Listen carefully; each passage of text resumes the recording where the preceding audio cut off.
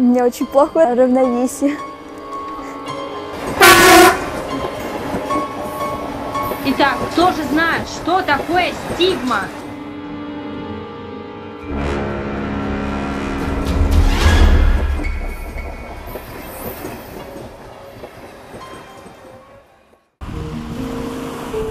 Меня зовут Настя, мне 19 лет, и я живу с ВИЧ.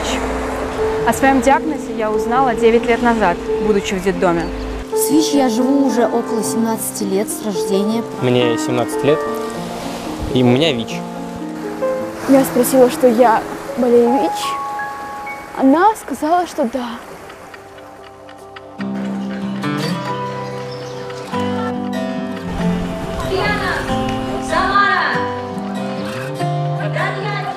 В этом году мы приехали в Сочи для того, чтобы провести здесь слет для подростков, живущих с ВИЧ-инфекцией, также для родителей и специалистов.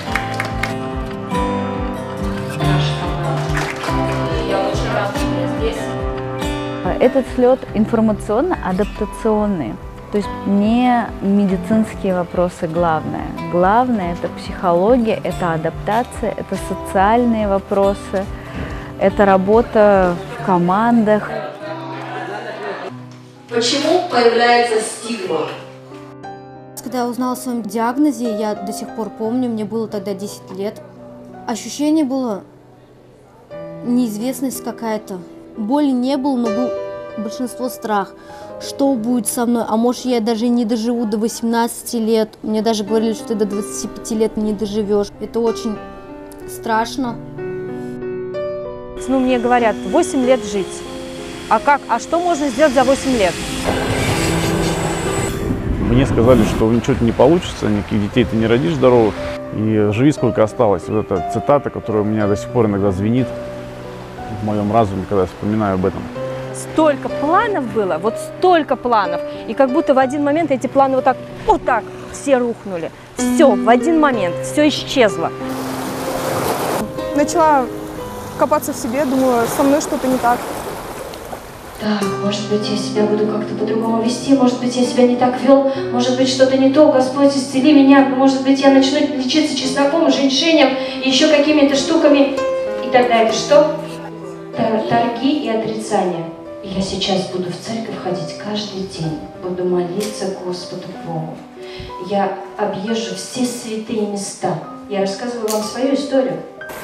Я заработала шизофрению легкой степени. Как у таких родителей могла быть нормальная дочь? Вон она, спидозно идет.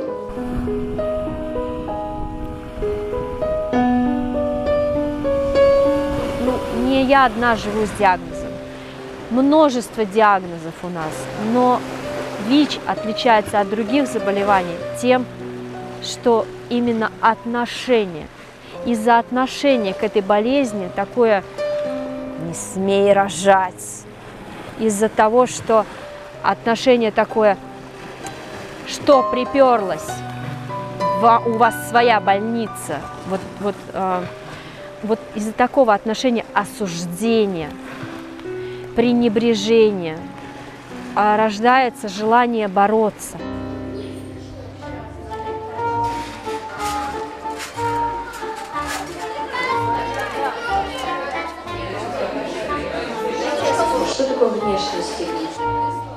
Ну, я не знаю. Я боюсь и начинаю всячески от этого, знаете, как отдаляться. Я думаю, ну теперь, значит, все люди, кто ВИЧ больны, они вот страшные. Я начинаю их оскорблять, да? Иди от меня, заразный, или что-то в этом роде. Понимаете? Ну что он один против нас? Мы спокойно сейчас его оскорбим, и нам ничего за это не будет. Но ущемляем ли мы сами себя? Внутри себя. И это про внутреннюю стигму.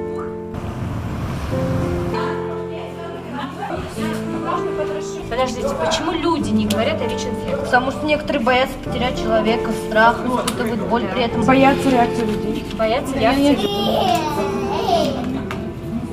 Говоришь своей маме о том, что у тебя ВИЧ, и она плачет.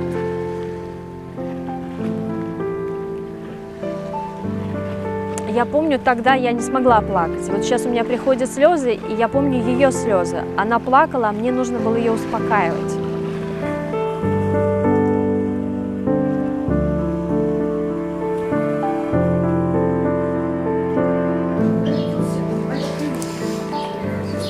Очень хочется от мамы. Да, я. Я тебя понимаю. Друзья, с которыми я как бы общаюсь, и боюсь, что они об этом знают. Ты считаешь, что это так, что вот как в прошлый раз? Да, да, да. И вот то, что внутри, мы будем клеить вовнутрь этой меня моя приемная мать шантажировала, то, что расскажет более колледже. Какие чувства вы испытываете, когда смотрите на эти листы? Я вспоминала те состояния, которые я пережила в детстве, и это очень тяжело.